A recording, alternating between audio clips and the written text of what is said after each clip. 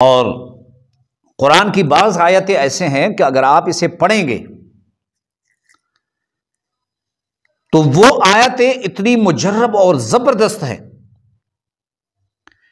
कि वो आसमान से गैबी मदद खींचते हैं अपनी तरफ़।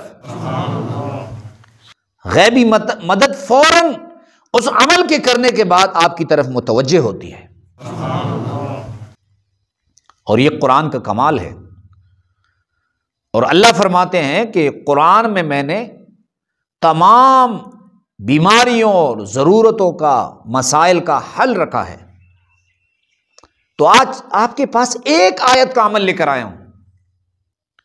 अगर आप उस आयत को कसरत से पढ़े, उसके बाद दुआ करें, आप बावजू हैं, बेवजू हैं, आप इस एक आयत को पढ़ लें, कसरत से पढ़ें, गैबी मदद अल्लाह रब्बुल इज़्ज़त की आपकी तरफ़ मुतवजह होगी।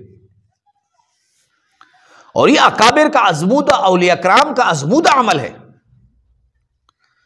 और जिस किसी ने भी इस अमल को किया, अल्लाह रब्बुल इज़्ज़त ने उनकी परेशानियाँ हल फरमाई लेकिन तवज्जो से और यकीन से करने की ज़रूरत है। वो एक एक आयत है, वलिल्लाहि जुनूदुस्समावाति वल अर्द वकान अल्लाह अजीज़न हकीमा। बिस्मिल्लाहिर्रहमानिर्रहीम वलिल्लाहि जुनूदुस्समावाति वल अर्द वकान अल्लाह अजीज़न हकीमा।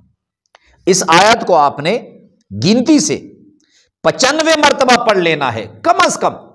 कितनी मरतबा? पचानवे मरतबा सुबह, पचानवे मरतबा शाम को पढ़ लेना है। और पचानवे मरतबा पढ़ने के बाद आपने अल्लाह के हजूर दुआ करनी है, गिड़गिड़ा के अव्वल आखिर दरूद शरीफ पढ़कर इखलास से कर लेना है इस अमल को। और ये एक ऐसा अमल है जिसने हज़ारों लोगों की ज़िंदगियाँ बदल दी। जिसने हज़ारों लोगों के मसाइल हल फरमाए, अल्लाह रब्बुल इज़्ज़त के करम व फजल से। यह कुरान की आयत है, कुरान का मुआजा है।